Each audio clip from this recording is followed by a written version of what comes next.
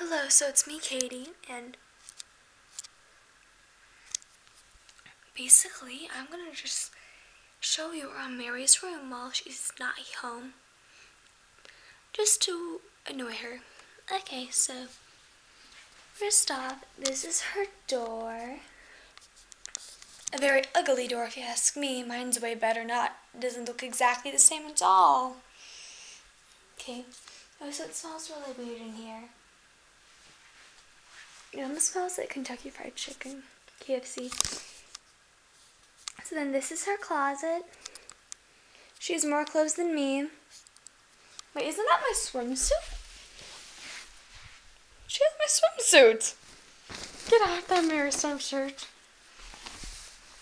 Okay, now that I got that, she has this giant window. Hey neighbors. And a banana suit. Classic Mary. Bunch of boxes that she hasn't packed yet. This one, this is Paw Wars. A Kleenex box, and I'm just gonna steal some. I go through Kleenexes very quickly, so.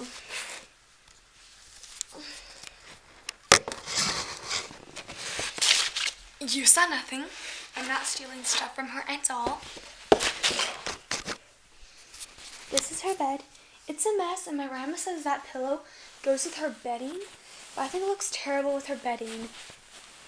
I mean, I don't know what my grandma saws in it. This is one of her stuffed animals. I forgot what's. Dang it, where's the tissues? Oh, there they are. There's the stolen tissues. Nah, this is just her room. Oh, also, there she's a ceiling fan right above her bed.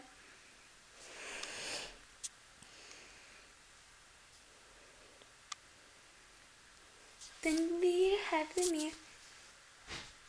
Hey. So here you have our underwear, and yeah, hey me. I the only reason I made this video is because I wanted my bun. Everyone to see how good I am at doing buns. I have no idea what other video I would do. So huh. So she has this Bible, one of those rainbow balloons, if you still have them. We were like the last people to catch on that trend.